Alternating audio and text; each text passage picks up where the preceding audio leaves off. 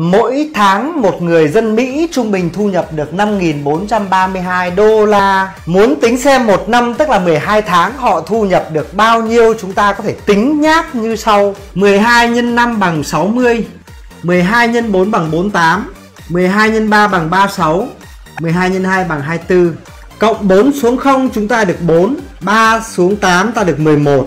1 cộng 4 bằng 5, 2 cộng 6 bằng 8 ta được kết quả là 65184 Tức là mỗi năm một người Mỹ thu nhập được 65.184 đô la. Mỗi người dân Trung Quốc, mỗi tháng trung bình thu nhập được 854 đô la. Để tính thu nhập của họ trong một năm 12 tháng, Chúng ta tính nhẩm như sau. Lấy 12 x 8 bằng 96 Ghi nhớ 96 vào đầu. 12 x 5 bằng 60 Hãy cộng 6 vào 96 Được 102 và nối thêm số 0 vào phía sau. Ghi nhớ kết quả vào đầu. 12 x 4 bằng 48.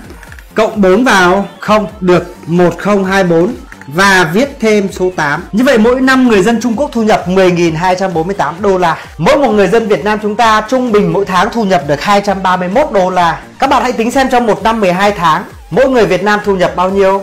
Hãy comment kết quả của bạn ở phía dưới. Nếu các bạn thấy video này hay thì hãy chia sẻ để nhiều người cùng biết Đừng quên like page Toán Thầy Kiên để nhận được những bài toán hay tiếp theo.